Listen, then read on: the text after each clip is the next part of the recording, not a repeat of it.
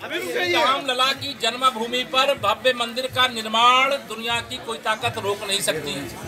आज की तिथि में आज की तिथि में मामला सर्वोच्च न्यायालय के समक्ष विचाराधीन है। हम माननीय सर्वोच्च न्यायालय के निर्णय की प्रतीक्षा कर रहे हैं लेकिन यह ज़रूर दावे के साथ कहते हैं कि अब रामलला की जन्मभूमि पर बाबर के नाम पर एक भी ईट नहीं रखने दी जाएगी नहीं रखी जाएगी। यह हमारा दावा है। जो जनेऊ धारण करके हिंदू समाज को धोखा देने का काम कर रहे थे। असलियत और नकलियत की पहचान भी इस देश की जनता को हो रही है। कांग्रेस इस पर जवाब दे। वह 2019 में इस मामले की सुनवाई क्यों चाहती थी?